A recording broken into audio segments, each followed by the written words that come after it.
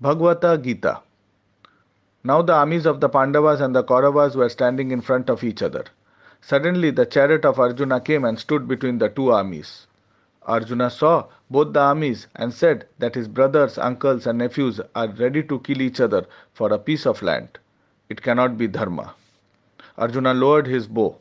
Arjuna further said that killing his relatives is cruelty and he will have peace instead of vengeance.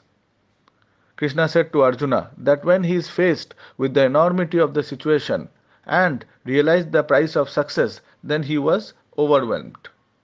If really Arjuna was enlightened, then he would have fought without anger and killed without hate.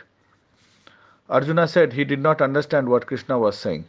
Then Krishna sang his song, a song which explained to Arjuna the nature of the world, and this is called Bhagavata Gita, the song of God. Bhagavata Gita is God speaking directly to man. After the completion of Krishna's song, it changed Arjuna's perspective of the battlefield. For Arjuna, now it was not a battle for a piece of land or vengeance, but this was Dharma Dharmashetra, where he will win over his fear, anger, and guilt.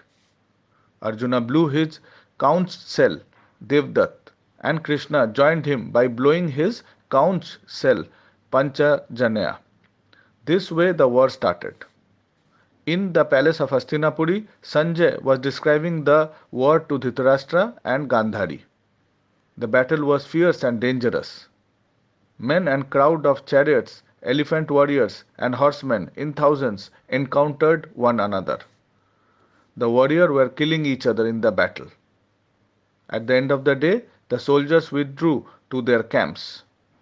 The earth was covered with blood, looked beautiful like a vast plain in the season of rains, covered with red flowers.